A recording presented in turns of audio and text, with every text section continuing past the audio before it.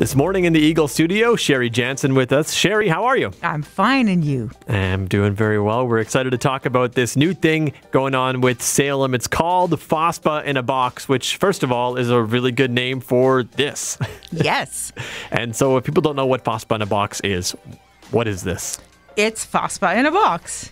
It's all the ingredients that you would have at a Faspa. We've packaged it into a box, and then the public can order, pre order, by February the 7th and pick it up on the 12th between 12 and 6 and actually have Faspa.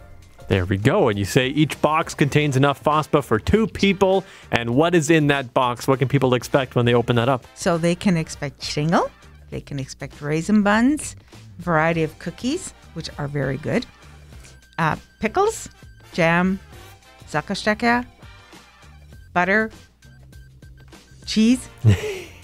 I think that's it. It sounds like everybody's grandma's favorites. Absolutely. It's grandma's Faspa. There we go. And it's all happening halfway through February. It can tie in with Valentine's Day. You say these can be great for yourself or even give them, give them out as, as gifts. As gifts. Absolutely. To it's and it's something that is unique and it's a gift that um, people can fellowship around if that's what you choose to do. So, yes. And Salem is Salem Foundation and the Ladies Auxiliary have always had Faspas as fundraisers, and so this is just a take on the Faspas that we used to have. And you did mention the number one best thing about Faspa in a box is it's a present that doesn't have to stay around too long. It's going to be gone by the end of the weekend. Right. Yes. and so if somebody wants to order Faspa in a box or they want to be a part of it, uh, what, what would be the way to do that? They can call uh, Salem Home and ask for Susan at 204 325 4316. Or they can visit Salem's website and uh, or pre-order off of off of there.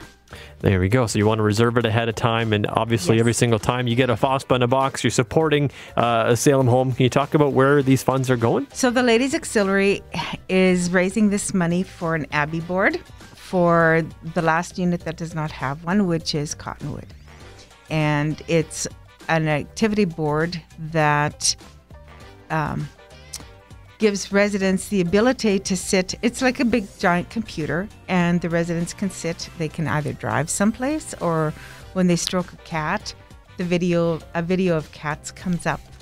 Uh, there's games that residents can play, and it's it's quite entertaining for for the residents and for the staff. There we go. And you guys are just looking to spread that around a little bit. Absolutely.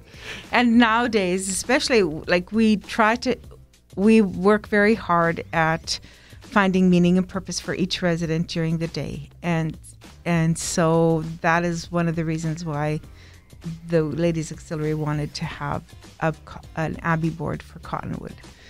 There we go. Well, Sherry, thanks so much for coming in this morning and telling us all about it. And thank you for having us. And thank you to the community for the support that they give us.